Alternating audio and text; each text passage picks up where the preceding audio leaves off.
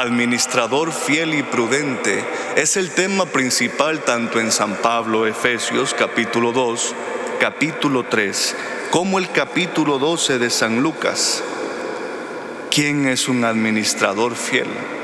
En la historia del cristianismo se le llamaba fieles cristianos a cada uno de nosotros y a los que no profesaban la fe se le llamaba infieles. Fieles e infieles. ¿Qué significa que la iglesia nos llame fieles?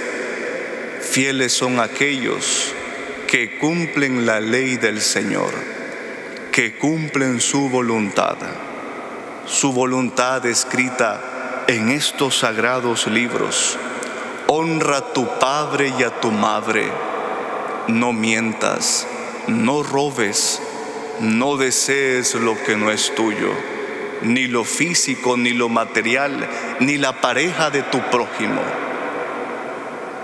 Honra y adora únicamente a tu Dios. No sientas y no piensas cosas y no levantes falsos testimonios en contra de los demás. El que sigue esa voluntad es fiel. El que le es fiel a esa ley alcanzará salvación. Pues bien, hermanos, a todo aquel que se le ha dado esta ley y a todo aquel que Dios le ha dado bendición en su vida, por muy poca que sea, el Señor le exigirá mucho más. El que es fiel en lo poco, será fiel en lo mucho. El que ha sido fiel en su noviazgo, será fiel en lo mucho de su matrimonio. El que ha sido fiel en la pequeñez de un trabajo, será fiel también en lo mucho de un alto cargo.